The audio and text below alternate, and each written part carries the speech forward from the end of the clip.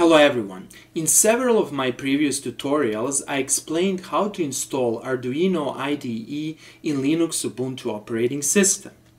However, in many situations and scenarios you would need to completely remove Arduino IDE from your operating system. That is, you would need to completely uninstall Arduino IDE.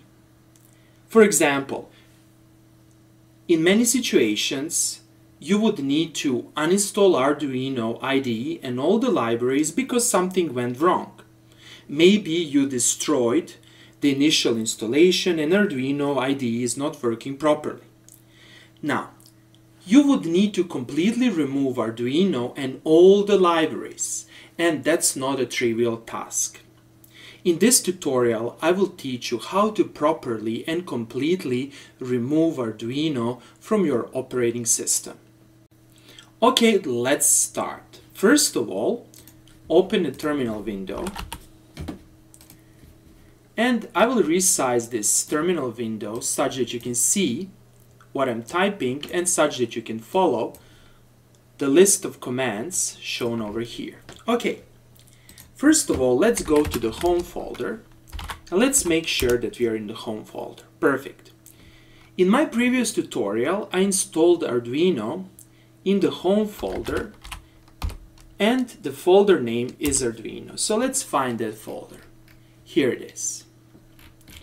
In your case, if you installed Arduino somewhere else, you need to go to that folder. Let me go to that folder and let me verify that all the files are over there. Okay, so here it is. Here's the main installation file. At the same time, it's executable file. Now, let's go back to the home folder and let's erase completely that folder. To do that, you need to type rm r, r means recursively, and Arduino. This will erase the folder as well as its content. Okay, let's now verify that we don't have Arduino over here. Perfect. And most of the users will stop here. And then next time you try to install Arduino, you will see that all the libraries that you installed in the previous version will be preserved. So you didn't achieve anything. So where are the libraries and what are the additional files and folders that we need to erase. Besides the main folder, there are two additional hidden folders that are created by Arduino installation.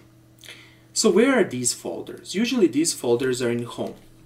Consequently, in the home folder, type ls-la. This A means that you also want to display the hidden files and folders. And if you scroll all the way up, we can see two additional folders. Here they are. To remind you, hidden folders and files in Linux Ubuntu start with a dot. Consequently, we need to erase these two folders. These two folders, actually this folder over here, stores all the libraries and all the other data. So let's erase these folders. Okay, to do that, we again need to type.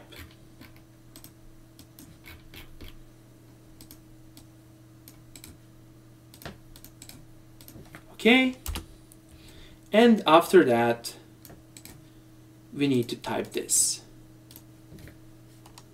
Okay, and finally, if you followed my tutorial on how to install Arduino, you have also probably created a shortcut.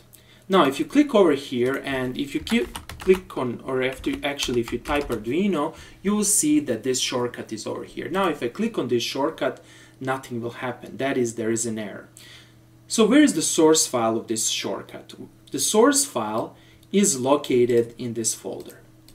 Consequently, you need to go to this hidden folder, and if you type lsla, you will see arduino.desktop, and you need to erase this file. You can do it like this. Okay, now you're ready to go. Let's verify. And if you type Arduino, there will be no shortcut. Okay, that's all for today.